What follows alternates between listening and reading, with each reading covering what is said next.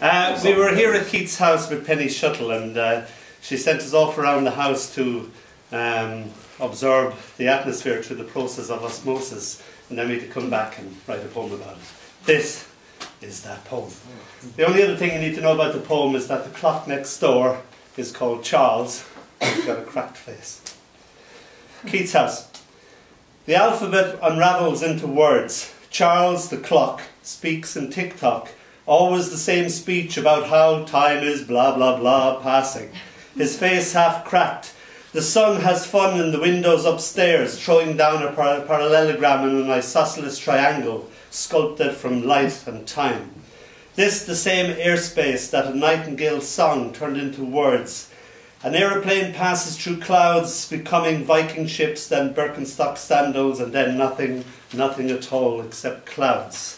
A delivery of loo rolls comes true. A chainsaw in a, uh, a garden away sings an ode to autumn. The man to fix the boiler is due today. This is the same grass where notes could fall at a poet's feet.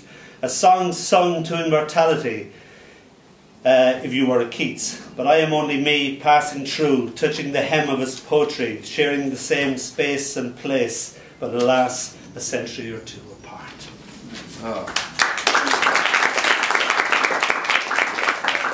This, as you can see, is my nightingale, so this is called Ode to a Nightingale. Ah. and so you are my belle dame avec merci.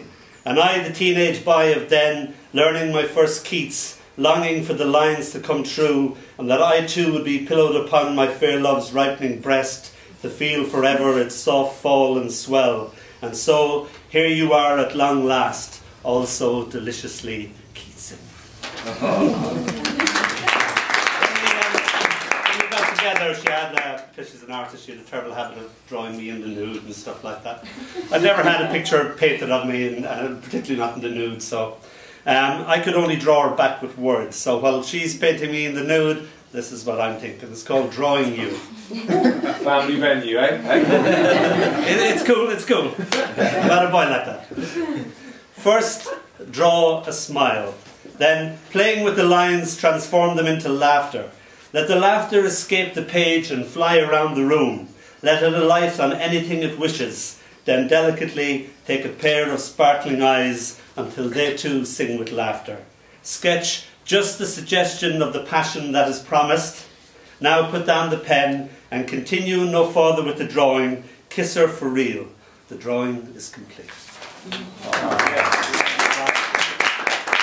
Teach a little class of uh, munchkins and they were at the very top of the school hidden away and they, they were terrified and the new teacher came in and I said, is this the class? Said, yes. And I said, uh, well, they didn't know what they had to do, and I said, I want to write a poem.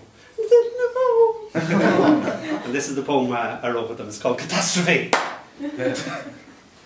the cat peed in my dad's hat. My dad wasn't particularly pleased with that. He shouted, Oi! No! Oh, stop! Cat! Scat! The cat answered back, Me? How? Spit! Hiss! My dad said, That's that. That cat has got to go. We said, No! The cat said, exactly, when you gotta go, you gotta go. My dad said, it's either that cat or me. We still have the cat, now that dad's gone. We still miss daddy sometimes, but mostly we laugh with the cat. Thank you very much.